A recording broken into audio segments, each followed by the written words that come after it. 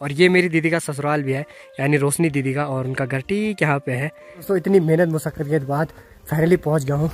अपने पिरुखाल हॉस्पिटल में। हाँ हाँ। सारी यादें भी दोस्तों इस वाली जगह से। हमारी आप सबकी भी आप सब भी कई लोग इस रास्ते से जाते होंगे तो आप सबकी भी काफ़ी यादें पहले इस रास्ते से जुड़ी होगी। बस दोस्तों दो चार लोग हैं जिनके चक्कर में गाँव चल रहा है। इन रास्तों से दोस्तों आप लगा सकते हो। पहले ये रास्ते ना दोस्तों इतने क्लियर होते थे क्योंकि इन पे ही लोग चलते थे। और अभी भी दोस्तों भरोली गाँव में ना आपको ये कुछ पुरानी सी चीज़ें देखने को मिलेंगी। बारिश देखो दोस्तों कितनी तेज आना शुरू हो चुकी है। हल्के हल्के से देखो ओले गिर रहे हैं। वैसा अब होगी हालत खराब। मतलब हमारे क्षेत्र में ना जो सबसे ज़्यादा खाली हो रहे हैं गाँव उनमें से ना दोस्तों एक एक गाँव भी है। और पिछली वीडियो में काफ़ी सारे कमेंट थे कि रोड का क्या हाल है मलवा साफ़ हुआ नहीं हुआ। बाकी अभी यहाँ पे थोड़ा सा रुके हुए हैं क्योंकि नीचे के लिए ना दोस्तों बिल्कुल चला नहीं जा रहा। पैर बहुत ज़्यादा दर्द हो रहे हैं भाई ढलान पे। इस गाँव की कंडीशन भी ना दोस्तों बहुत ज़्यादा खराब है। जो तो आज सुबह जैसे ही उठे ना दोस्तों तो बाहर का माहौल कुछ ऐसा बिल्कुल बारिश वाला। तो कल की वीडियो में मैंने आपको कहा था ना कि बारिश हो सकती है। तो ये देखो भाई दोस्तों, कल रात भर बारिश हो रही थी और अभी सुबह से ही बारिश हो रही थी। थोड़ी देर अभी रुक रखी है। थोड़ा इधर से मौसम अब खुल रहा है। बाकी अभी टाइम हो गया, ठीक नौ बजे का। बाकी दोस्तों, अपनी तबीयत ना दोस्तों बहुत ज़्यादा खराब हो चुकी है। कल रात को ना दोस्तों बिल्कुल एक एक घंटे की नींद कर करके सोया हूँ। ऐसी की दवाई खा रहा था, पसीना हो रहा था, पर कोई फ़र्क नहीं पड़ रहा था। सर दर्द इतना ज़्यादा हो रहा है ना कि क्या ही बताऊँ। बाकी अभी बढ़िया सा रेडी हो गया हूँ, क्योंकि अभी जा रहा हूँ सीधा बिरुखाल हॉस्पिटल नीचे से जाऊँगा पैदल पैदल, और फिर ठंड लगेगी तो और ज़्यादा बुखार आएगा तो इसलिए नीचे से जाएँगे पैदल पैदल। बाकी मौसम थोड़ा सा अपना साथ देना चाहिए। थोड़ी सी बारिश वगैरह ना हो तो बढ़िया हो जाएगा बट अभी मौसम ना बिल्कुल काला सा हो रखा है। बाकी ऐसे ठंड में जाना भी दोस्तों ऐसे सही नहीं है। बट मेरी मजबूरी है, मुझे ही पता है, मैं कल रात बिल्कुल नहीं सो पाया। इसीलिए दोस्तों, मैं कोई रिस्क नहीं ले रहा हूँ। मतलब मैं सीधा जा रहा हूँ।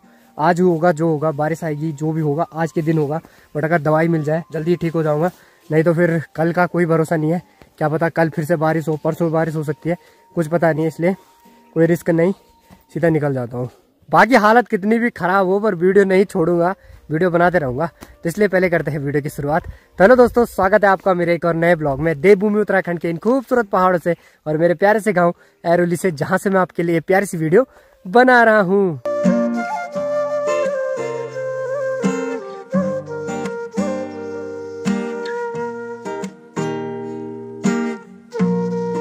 देखो भाई दोस्तों, ठीक अपने सामने दीवा पर्वत और दीवा पर्वत की तरफ़ देखो भाई दोस्तों, कितने भयानक से बादल लगे हुए हैं। बिल्कुल काले बादल और कितना खतरनाक कोहरा लगा हुआ है। तो बारिश के आने की भी फुल फुल चांस बन रखे हैं भाई। बाकी अभी दोस्तों आपको एक खतरनाक सी चीज़ दिखाता हूँ। हंसना मत मतलब आप हंसोगे उस चीज़ को देख के वैसे तो। यहाँ देखो भाई दोस्तों, मैंने पहन रखे फ्लैट शूज़ और मोजे देखो मेरे। मैंने पहन रखे फौज वाले मोजे मतलब बहुत बड़े हैं भाई, बहुत बड़े। तो ये खतरनाक चीज़ हो रही है। कोई मुझे देखेगा ना, वो बोलेगा शॉर्ट्स वाले मोजे आते हैं, यानी शॉर्ट्स जुराब आते हैं, वो वाले पहने जाते हैं।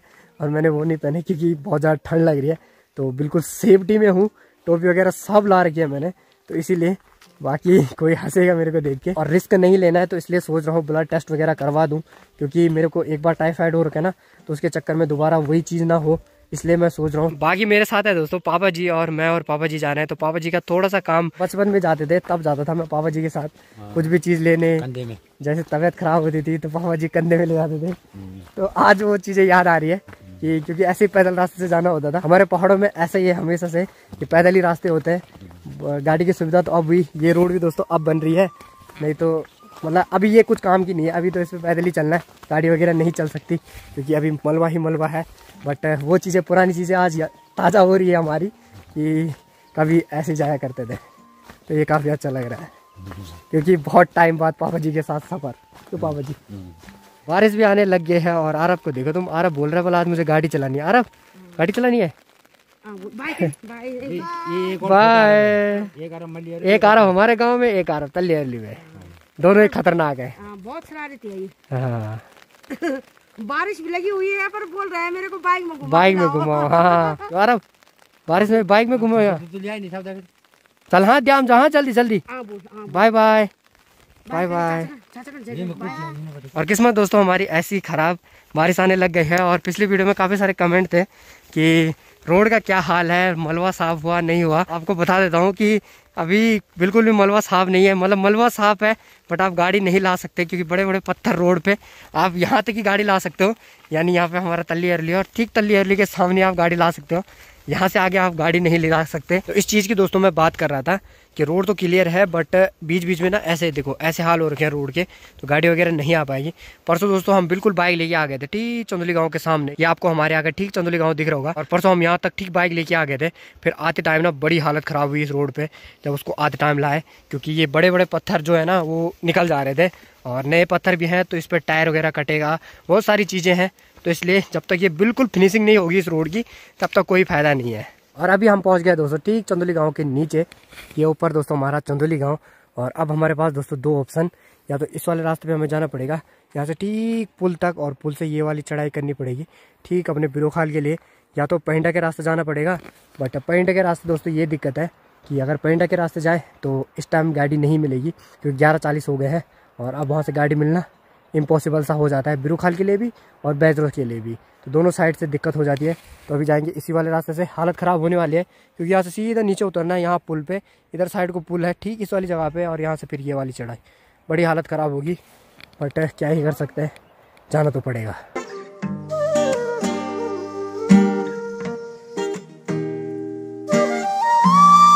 भाई साहब, दोस्तों ना, नीचे के लिए ना बिल्कुल उतरा ही नहीं जा रहा। पैर इतने भयानक दर्द हो रहे ना, ये क्या ही बताऊँ भाई। तो चले जी, फाइनली दोस्तों, ठीक यहाँ रोड से और ठीक यहाँ नीचे पुल तक, और पुल से ठीक यहाँ तक पहले ढलान पे उतरे, फिर थोड़ी सी चढ़ाई तो फाइनली कर ही लिया हालत ख़राब हो गई भाई। बाकी थोड़ी सी गर्मी हो रही है। ढलान पे उतरा ही नहीं जा रहा, और चढ़ाई पे चढ़ाई पे तो ठीक है, चढ़ाई पे चला जा रहा है। और ढलान पे नहीं चला जा रहा और अभी पहुँच गए ठीक तालन के पंदेरा में और ये रहा दोस्तों, ठीक तालन का पंदेर ठीक इस वाली जगह में। तो काफ़ी सारी यादें भी दोस्तों इस वाली जगह से। हमारी, आप सबकी भी, आप सब भी कई लोग इस रास्ते से जाते होंगे तो आप सबकी भी काफ़ी यादें पहले इस रास्ते से जुड़ी होगी, क्योंकि यहाँ पे ना जब भी लोग इस वाले रास्ते से जाते थे तो यहाँ पे हमेशा रुकते थे। और हम भी बहुत रुकते थे पहले तो काफ़ी सारी यादें इस जगह से भी जुड़ी हुई। और अभी हमारा पूरा का पूरा एक घंटे का रास्ता और बचा हुआ है। एक घंटे का हमने कर लिया। अभी दोस्तों हमारा एक घंटे का रास्ता और बचा हुआ है। एक घंटा हमने कर लिया, एक घंटे का रास्ता और है। तो पानी वगैरह पीता हूँ, फिर निकलता हूँ और जल्दी जल्दी वहाँ पहुँचना भी है, क्योंकि अभी बारह बज रहे हैं और जैसे एक बजेंगे तो डॉक्टरों को भी हो जाएगा लंच ब्रेक तो इसलिए जल्दी निकलते हैं। बाकी इस रास्ते में चलते चलते हम पहुँचने वाले हैं दोस्तों, ठीक भरोली गाँव के सामने। और ये है दोस्तों बिरोखाल वाला भरोली।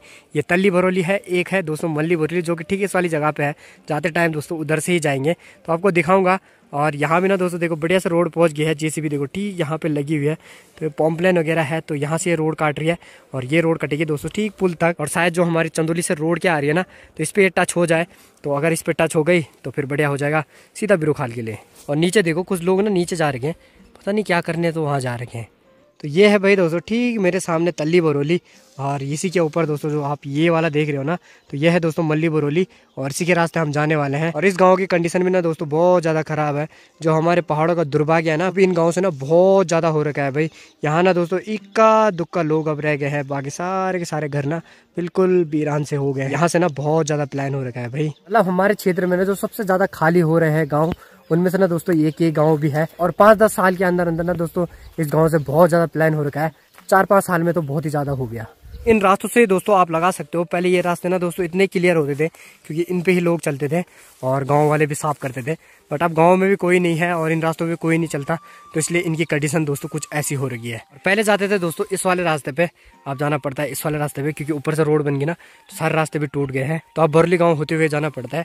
बाकी जो ये वाला क्या रास्ता है ना, जाता है सीधे डुमेला गाँव में और इस वाले रास्ते पे तो हम आ ही रहे हैं। तो ये वाले हाल है देखो भाई दोस्तों, इस वाले गाँव के, कोई आपको नहीं दिखेगा।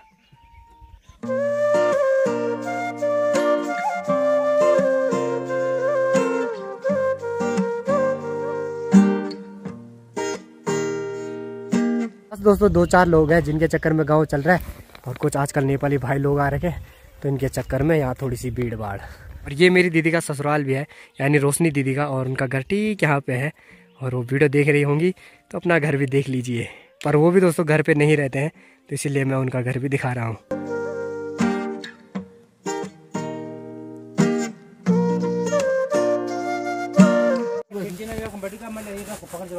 हाँ हाँ।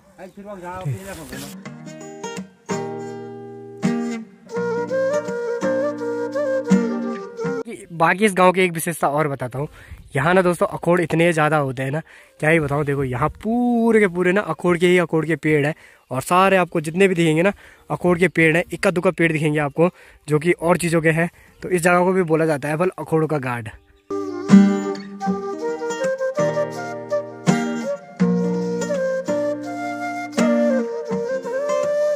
तो चलो भाई दोस्तों, इतनी मेहनत मुशक्क़त के बाद फाइनली पहुँच गया हूँ। अपने बिरोखाल हॉस्पिटल में, और यहाँ से पूरा हॉस्पिटल शुरू हो जाता है। बाकी ये कमरे वगैरह है, सारे के सारे यहाँ डॉक्टर वगैरह लेते हैं, जो कि बाहर से आते हैं।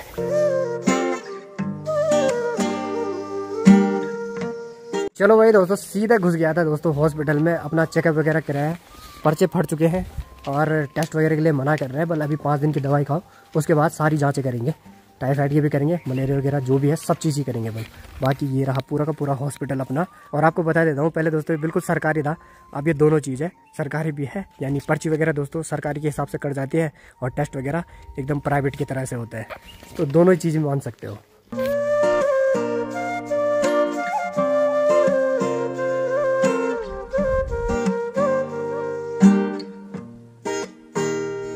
बाकी ये चीज़ अब यहाँ बढ़िया हो गया। पहले यहाँ टेस्ट वगैरह नहीं होते थे, अब यहाँ टेस्ट वगैरह भी हो जाता है।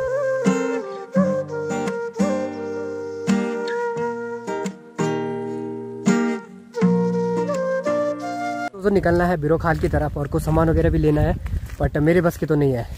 पापा जी, आप जितना ले जा सकते हो उतना ले जाना है ना? मैं कुछ नहीं ले जा पाऊँगा आई एम सो सॉरी मैं, मेरे बस की तो नहीं है, मैं बस ऐसे, जैसे आया वैसे ही जाऊँगा।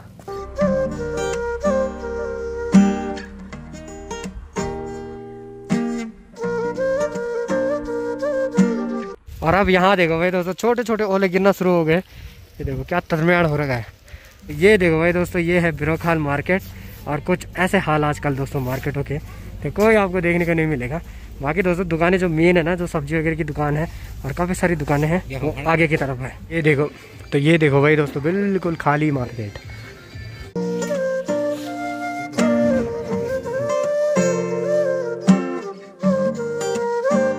चलो भाई दोस्तों, जो भी राशन पानी दाना यानी कटगड़ पड़गड़ थोड़ा सा घर का ज़रूरी सामान वो सारा का सारा ले लिया है। और मार्केट में भी कोई नहीं है भाई, खाली मार्केट। बाकी निकलते हैं जल्दी से आप घर की तरफ़, क्योंकि अभी पूरा का पूरा दस पंद्रह किलोमीटर और चलना है। पहले उतरना है, फिर चढ़ना है। और फिर से आप जाएँगे दोस्तों, इस वाले रास्ते से। ये हमें सीधा भरोली में टच करेगा। बाकी यहाँ से देखो भाई दोस्तों, ठीक आगे हमारे स्कूल है, एक बढ़िया सा, जो कि है शिशु मंदिर। और इंग्लिश मीडियम की पढ़ाई यहाँ हो जाती है।